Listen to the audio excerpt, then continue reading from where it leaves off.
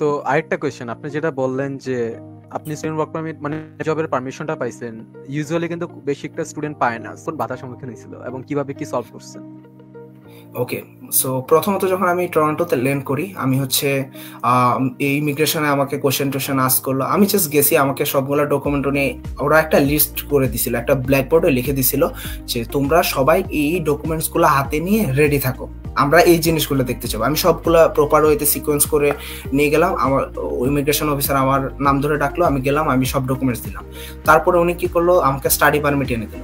আমাকে study permit এনে দিয়েছে আমি, আমার সবার আগে আমি ইন্টেনশন ছিল যে ওয়ার্ক পারমিট না থাকলে আমি আস করব যে আমি কেন পাবো না।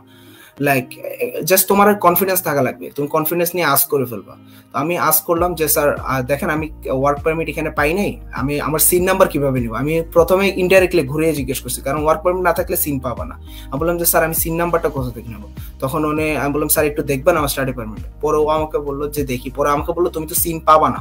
আমি কেন?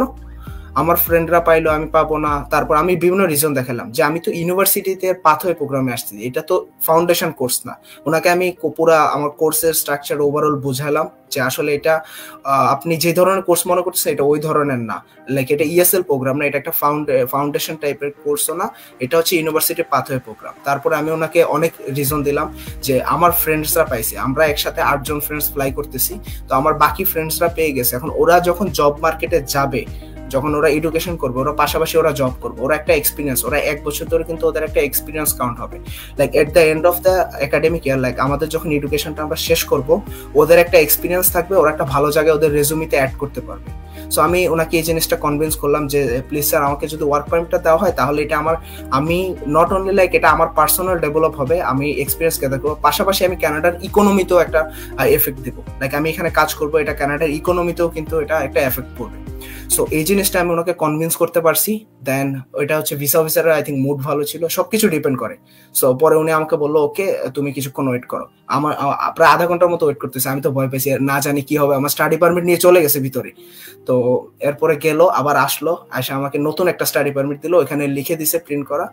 যে আমাকে দিয়ে দিল। আমি মনে দুঃখ নিয়ে চলে আসছি। আমাকে বলল যে গুড লাক না উই ক্যান আমি আমি মনে করছি যে সেমই তো স্টাডি পারমিট তো সেমই দেখা যায়। পরে আমি বের হইলাম। বের হয়ে আবার ওই যে, আমি তো সাথে সাথে সবগুলো ডকুমেন্ট আমি যে ডকুমেন্টে হাতে পাই আমি সেটার ছবি তুলি অথবা স্ক্যান করে রাখি। আমি ছবি তুললাম ছবি তুলে আমি যখন পড়তেছি আমার লাইক ক্যাম স্ক্যানার দিয়ে স্ক্যান করলাম তখন দেখি যে এখানে লেখা আছে। আমি আবার বের করে দেখলাম যে না ওয়ার্ক পারমিটটা দিয়ে দিছে।